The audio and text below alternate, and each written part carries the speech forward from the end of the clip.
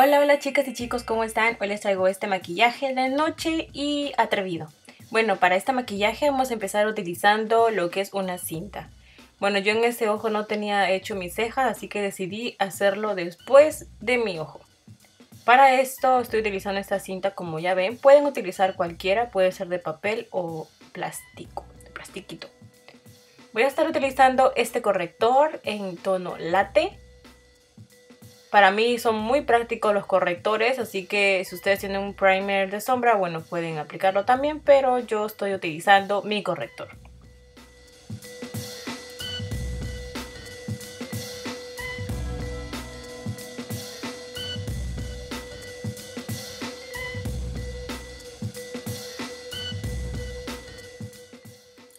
También estaré utilizando esta sombra de Makeup Geek. Es una sombra más clarita. Y la voy a estar aplicando como, como ahumado, o sea, como fondo o como transición, como le quieran llamar. Yo lo voy a estar aplicando en la parte de arriba. Y voy a estar aplicando así con esta brocha que ya ustedes me han visto en muchas ocasiones que me costó muy barata y la verdad que me gusta mucho esa brocha. Después de esto voy a estar utilizando este gel de Lure y lo vamos a aplicar con una brocha pequeña o con cualquier brochita que tengas. Hasta incluso lo puedes hacer con los dedos.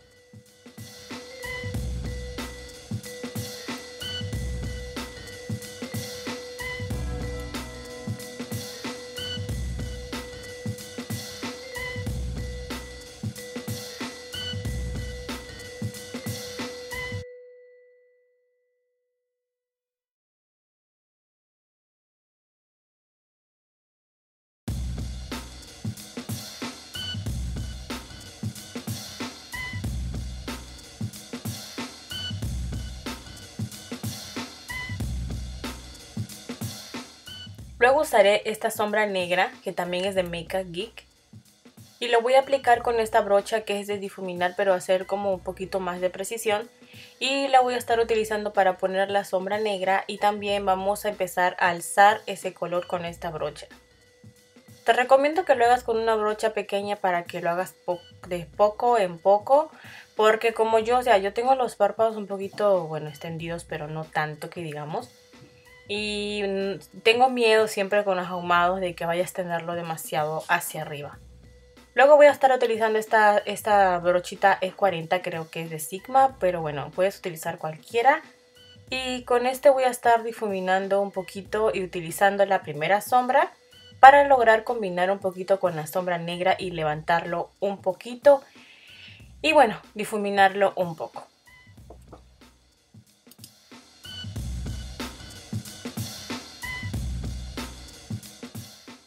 Poco a poco voy a, ir, agregando un poquito más de color y esa sombra va a ser la primera que hemos estado aplicando. Así que para esto sí nos vamos a tomar un poquito de tiempo para difuminar. Bueno, seguimos difuminando.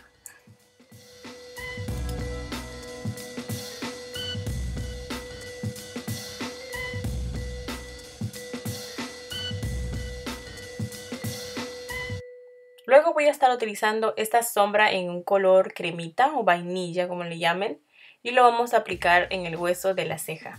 Este color lo vamos a combinar un poquito con la primera sombra. Luego voy a estar utilizando esta sombra dorada que es de la paleta de, de OPV y que me gusta mucho. Lo que hago siempre es humedecer la, brocha y, y, sirve muy bien como, para, como delineado. Como ustedes pueden ver, las sombras son muy pigmentadas, entonces por eso me gusta mucho. Así que si no tienes por ahí un delineador de color, puedes utilizar tus mismas sombras.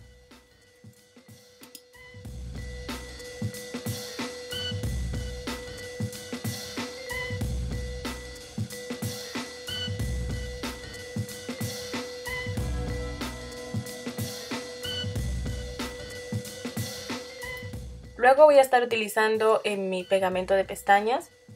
Lo voy a poner encima de la sombra. Bueno, de la sombra marrón.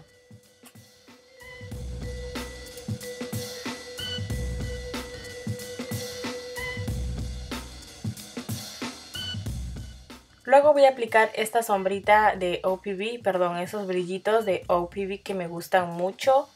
Y lo voy a estar aplicando encima con una brocha bien delgadita. ¿Ok? Esto lo hago para que a la hora de abrir y cerrar mi ojo no se vayan a, salir los brillitos. Porque por sí mis ojos no son, a veces son un poquito medio encapuchados, no sé, mis, mis párpados medio raros a veces.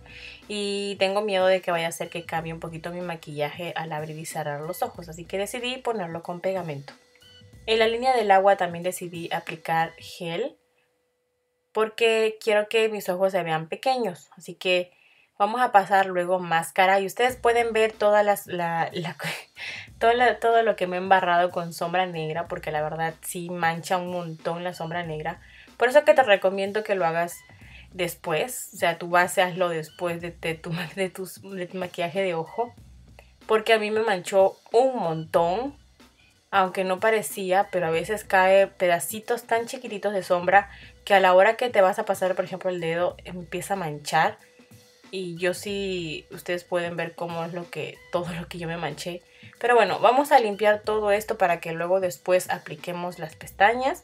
Y después vamos a hacer el rostro. Y también hice la técnica de horneado en el rostro también. Y bueno chicas, ya depende de ustedes, ya si le quieren poner otra cosita más en el rostro, pero eso, eso es lo que yo hago. Bueno, esa es prácticamente mi rutina después de maquillarme los ojos.